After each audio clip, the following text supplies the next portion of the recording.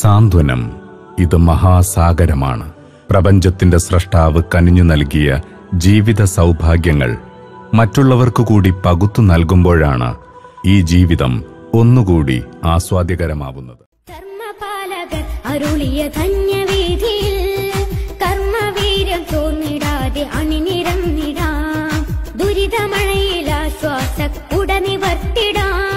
വ്യഥയറിഞ്ഞ രോഗികൾക്ക് തണലൊരു